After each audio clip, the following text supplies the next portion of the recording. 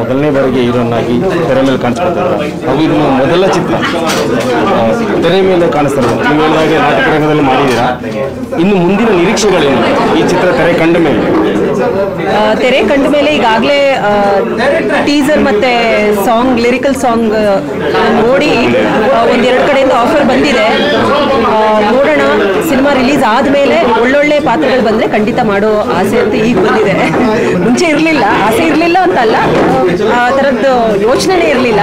ಈಗ ಈ ಸಿನಿಮಾ ಮಾಡಿದ್ಮೇಲೆ ಆ ತರದ ಒಂದು ಆಸೆ ಬಂದಿದೆ.